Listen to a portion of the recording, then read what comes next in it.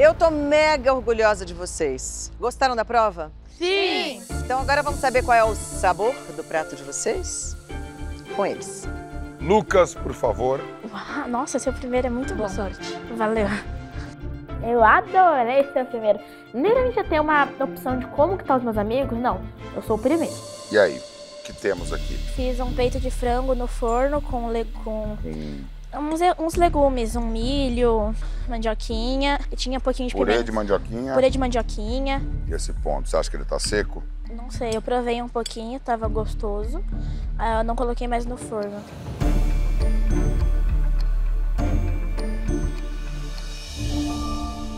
Eu gostei da sua louça, gostei da sua ideia. A mandioquinha tá gostosa, tá tostada no limite. Se tosta um pouco mais, ela pode ficar amarga.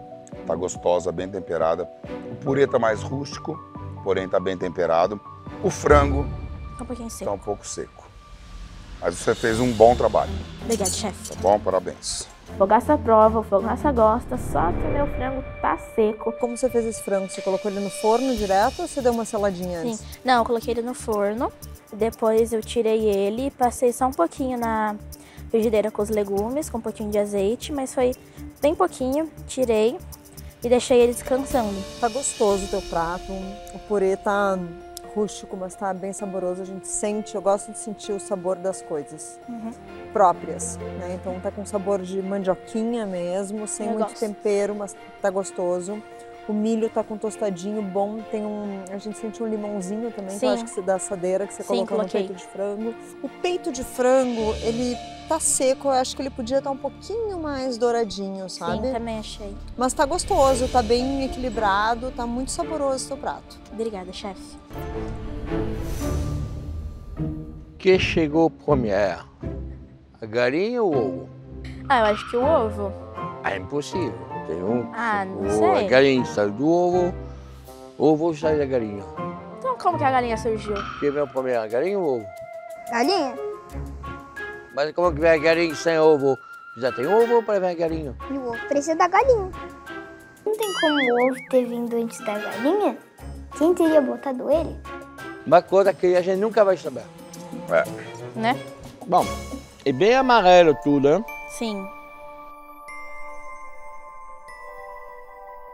Eu gosto de ter um molho um pouco, Uhum. tá? O resto é bom. Obrigada, chefe. Vamos ver com os outros. Hã? O ovo ou a galinha? Eles gostaram do prato inteiro. O frango tava um pouco seco. Morto, o frango seco não dá. João, João Peter. Laranja. Hum, cogumelos, Sim. batata, frita e um peixe que eu fritei. salmão. E o que, que tem aqui nessa couve-flor, assim, que ela tá...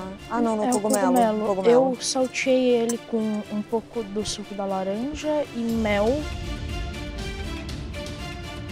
Você provou esse cogumelo? Eu provei. Hum. Eu gostei do, do gosto. Textura desse cogumelo tá muito boa. Porém, eu achei que ficou um pouco doce. Não deveria ter colocado tanto mel. E tu tem aqui batata doce. Então tu tem uma guarnição toda doce pro teu prato, Sim. tá? O salmão, eu achei que ele ficou um pouco seco e eu vi tu colocando farinha. Quando a gente coloca farinha de trigo no peixe, a gente coloca assim e dá uma para tirar o excesso, Sim. né? Eu acho que por isso que ele queimou um pouco, porque você colocou muita farinha. Mas eu gostei muito, achei muito interessante a textura desse cogumelo aqui. Você sabe por que, que o salmão é rosa? Não, não sei. Porque ele come camarão. É, ele tem salmão amarela, que a carne é amarela lá do, na, na, na Noruega. Depende que o salmão coma, ele pega a cor da carne. Para você não é, ele não é roso, ele é carvão. Tá feio o negócio, né? Tá feio. Tá bem feio. Dá para ver que ele gosta de fazer peixe. Tá todo, claro, né? Botar essa farinha aqui é, é bem antigo. Antigamente a gente botava para dourar. Hoje a gente não faz mais isso. né? A gente preserva o, o produto. Mas a ideia é bom. Tá bom? Monsieur João. Feliz com o seu prato? Não, por quê? É, o salmão que queimou embaixo. A ideia do seu prato está muito boa, tanto a louça que você pegou, mas poderia estar mais crocante a batata. Ela é Sim. doce, você pôs bastante mel, ficou bastante doce. E o peixe, ele tem que ser mais rápido, você passar dois, três minutos de cada lado, porque o salmão, ele fica úmido no meio, não seco. Tá bom? Mas fez um bom trabalho, João. Obrigada. Parabéns. Eu tenho, de novo, vontade de só virar uma bola e chorar no chão. Tá? Até o fim do show. Tá bom? Larissa! Boa, Lari, boa sorte. Eu levo meu prato achando que tá bonito, que tá gostoso. Mas eu tô um pouco nervosa. O que que você fez? Eu fiz Avestruz. avestruz, chips de batata roxa, purê de batata roxa Purê. e a couve-flor. É bem bonita a apresentação. Parabéns. Nada. É bem corajoso em fazer avestruz. Que é o ponto do, da carne? Hum, da mão, eu acho. Eu não sou muito carne de avestruz. Mas é gostoso, macio. Não fala para os outros que aqui é chips. Que não é chips.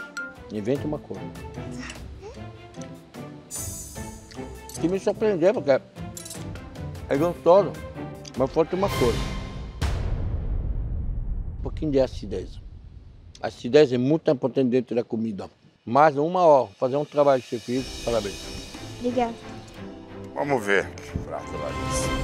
E aí, o que, que temos aqui? O avestruz com purê de batata roxa. É como se fosse um chips de batata roxa, assim. Como se fosse um chips de batata doce.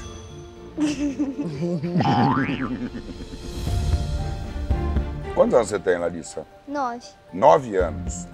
Vou te falar uma coisa. Aqui no Masterchef, eu já fui surpreendido algumas vezes na temporada amador, profissional. Eu já estava nove anos aqui. Você não tinha nem nascido, eu já ficava sendo surpreendido algumas vezes. E agora, depois de nove anos você aqui, eu fico surpreso com o seu trabalho. Para mim falta um molho, tá? Mas fez um prato Masterchef. Parabéns, Larissa. Obrigada. A Larissa, na vida real, ela é baixinha, parece um gnomo de jardim. Mas na cozinha ela parece um bodybuilder fogaçado. Brrr. Hum, você fez esse purê só com água? Sim. Tem uma coisa na, na cozinha que é pureza, né? Que é da gente trabalhar os ingredientes trazendo o sabor que eles têm mesmo, assim. Eu acho que isso é bem presente no teu prato. Né? A couve-flor tá com uma textura crocante deliciosa. Teu purê tá muito gostoso. Esse chips ele não tá crocante, mas tá saboroso. O ponto da avestruz tá bom. Para mim faltou um pouquinho de sal em tudo. Mas parabéns e é muito bonitinho te ver trabalhando. Obrigada.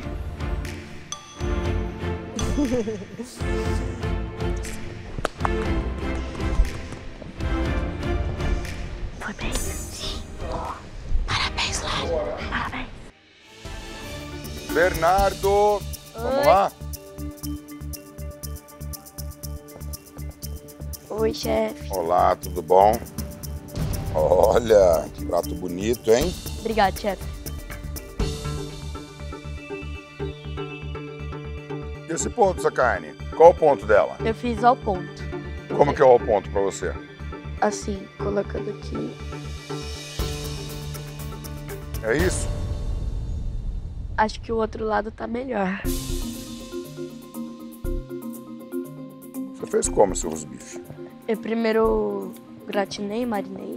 Não sei, eu coloquei. Gratinou? Eu não sei o que, que eu fiz. Não, eu marinei. Selou? Marinou com o quê? Eu coloquei azeite, sal Não. e mix de pimentas. Depois eu selei e deixei onde? Na descansando. frigideira? É, na frigideira quente e de- deixei descansando. Coloquei no presunto parma e coloquei no forno. Tá. E o molho dele? Você não fez molho? Não, E o tomate? Tomate cru, só pôs ele aqui? Por que você não fez nada com o tomate? Sabe confitar tomate? não, chefe. Essa batata você cozinhou com casca? Não, eu descasquei, aí eu cortei e fritei. Tá, a sua carne tinha que ficar um pouco mais no forno. Eu gosto desse ponto, mas um pouquinho mais ficaria perfeito. Certo. E a batata tá gostosa, mas podia estar mais sequinha por fora, mais crocante, mas tá gostoso o seu prato, ok? Minha carne não tá no ponto, minha batata tá muito molhada, o tomate não tá. não, não, não tem necessidade, fogaça só me destrói, poxa. Que cara é essa, Bernardo? Tô meio desapontado. Por quê? Por causa do ponto da sua carne? É, por causa da batata e o tomate, que nem o chefe falou.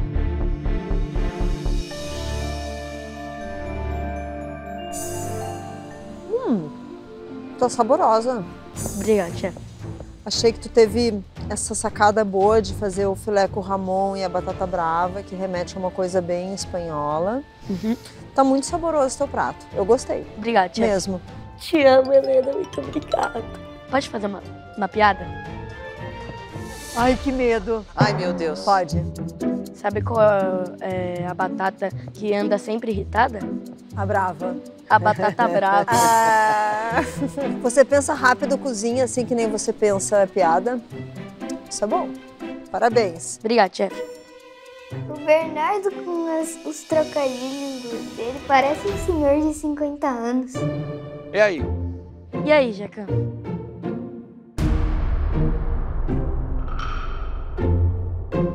Já te chamou de Harry Potter? Nunca. Você tem a cara dela. Não sei se isso é bom ou se é ruim. Bom, vou te dar uma dica. Quando a gente serve um prato grande, a gente pega uma travessa, não um prato, para botar na mesa, no meio da mesa, e cortar, dividir.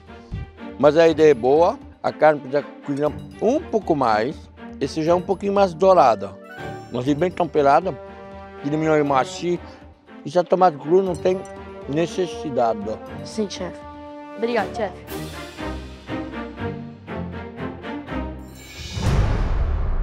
Vocês já sabem o que acontece agora? Sim. Vocês vêm aqui pra frente e eles se reúnem pra decidir o que tem que ser decidido. Vem cá, vamos lá conversar. Bem, meus queridos, Eu tenho, eu tenho meu prato preferido já. Eu também já tenho o meu. Queria ser uma mosquinha pra estar lá e ouvir o que, que eles estão conversando. Eu acho que você que vai pra mesa Eu acho que Já tá claro, gente. Já tá bem claro. A Larissa não participou de nenhuma, nenhuma prova de eliminação. Não demorou muito, vocês foram rápidos. Uhum. Uhum. E É, aí? tiveram pontos e contrapontos, porém, Porém, decisão unânime. Criançada, primeiramente, parabéns. Fizeram um ótimo trabalho.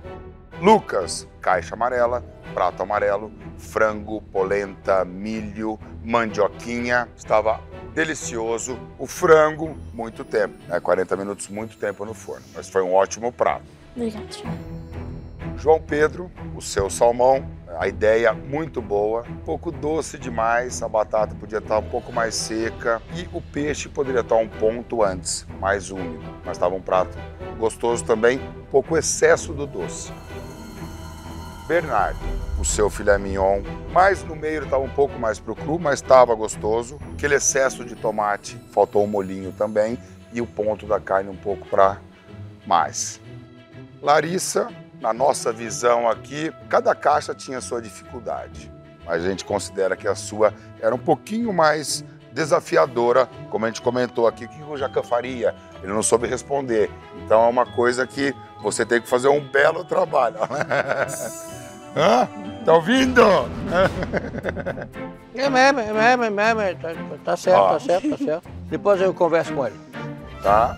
E na nossa avaliação aqui, o seu purê podia estar um pouquinho mais sedoso, tá? mas estava delicioso. O seu chips de batata doce Por mais que não estava sequinho, crocante, estava bem temperado, gostoso. A carne poderia estar um pouquinho mais bem selada, mas estava bem temperada e deliciosa.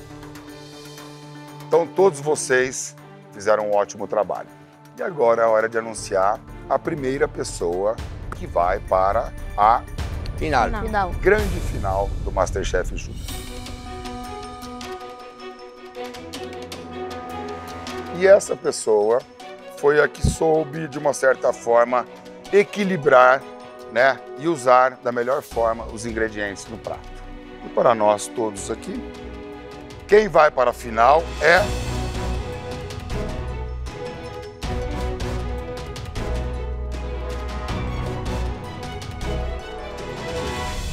Larissa! Tá feliz? Parabéns, Laura. Você tá na final, guria? Tô na final. Ó, é o seguinte, você tá na final. Se você não comemorar, eu vou achar que você Dá um Amarelou. grito bem alto. Parece uma galinha engasgada. Eu tô na final. Uh, você ficou nervosa. Oh, meu amor. Ó, agora vocês três que lutem para ver quem vai pra final com ela. Se eu for pra final com aquela gnômia de jardim, o gnomo vai ser eu. Mezanino é todo seu. Parabéns, meninas. Obrigada, Ana. Então, já temos a primeira finalista do Masterchef e agora tem que escolher outro finalista. E são vocês três que vão disputar isso. Prova de eliminação. Mas vai ser bem docinho. Vixe. E bem dificinha também. Ah, docinha, ah, não, docinha. Eu mando bem em poucos doces, mas eu mando muito bem nesses poucos doces. Pode ser que a Larissa me encontre na final.